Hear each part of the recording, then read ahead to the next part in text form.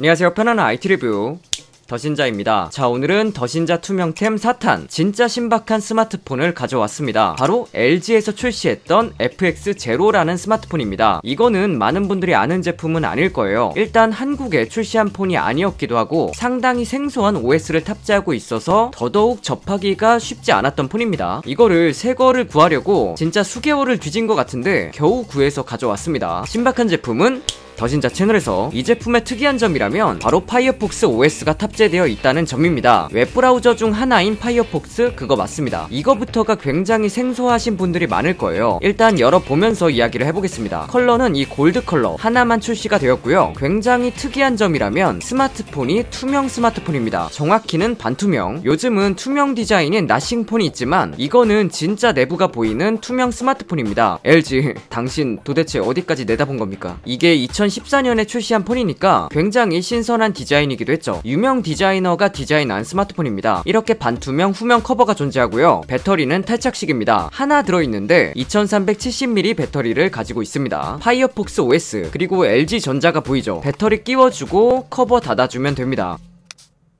화면을 보여드리려면 전면 보호 필름은 떼어내야겠죠. 짜잔 이렇게 투명 디자인을 가진 스마트폰. 디자인이 진짜 마음에 듭니다. 이런 투명한 스마트폰 하나 출시해줬으면 좋겠어요. 물론 이게 다수의 사람들에게 인기가 많을 것 같지는 않아서 사실 출시를 바라기는 이제는 어렵겠지만요. 우측에 있는 전원 버튼을 눌러서 켜보겠습니다. 파폭 OS답게 귀여운 여우가 나옵니다.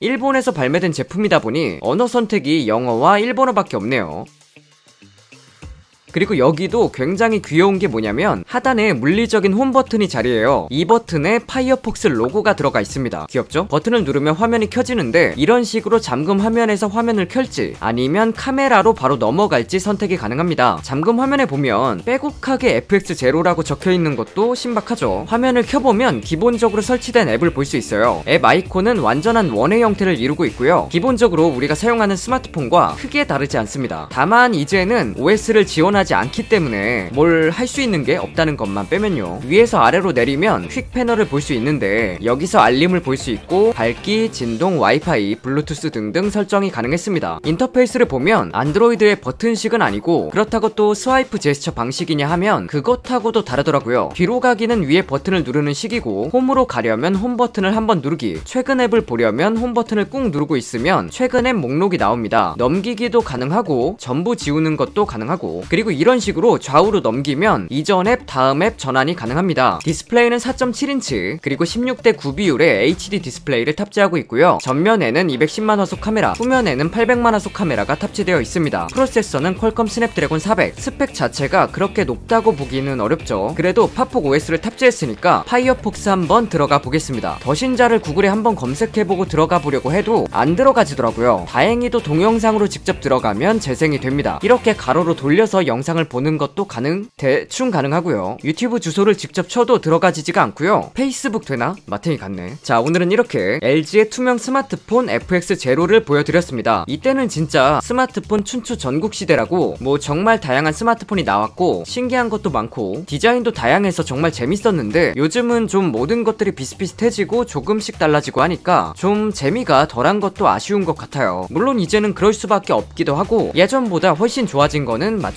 지만 더 신박한 제품 있으면 가져와서 보여드리도록 하겠습니다. 이번 영상이 유용하셨다면 구독, 좋아요 부탁드리겠습니다. 오늘 준비한 영상은 여기까지입니다.